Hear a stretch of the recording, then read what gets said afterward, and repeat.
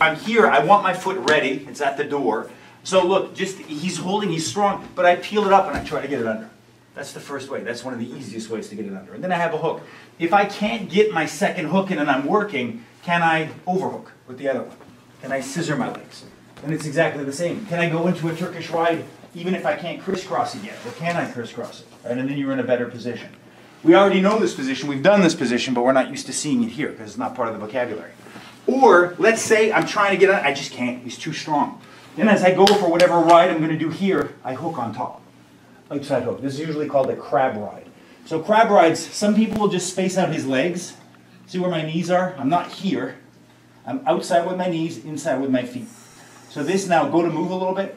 Yeah, when, when Christian goes to move, try to get out, he's going to create lift or space or he's not going to move. Then I'm just waiting at the door. I'm waiting at the door, right?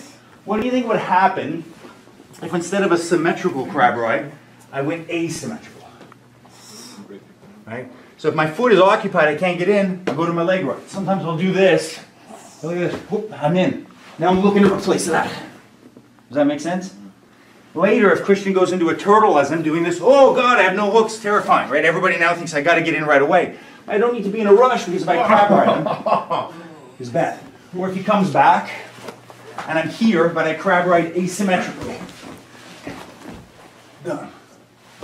It takes very little, so watch. He's much smaller, but if I do it wrongly, it gives me nothing. Flatten all the way out. If I go like this, he's going to move all over. He's going to Spider-Man crawl. So I need to pin, or if you're long enough, trap outside. So try to move. See, he moves, he gives me harness. I wait for him. He has to. His legs are not helping. If I go a little bit asymmetrical, see, it brings things closer. Right? And I start to work. If he turns,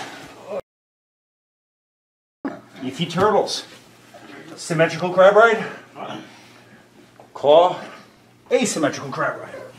Take it. Start to flatten them out.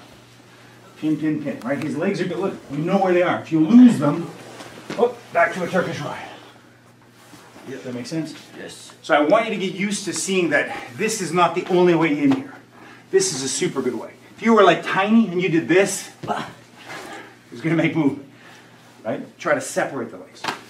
Yeah? Try that out.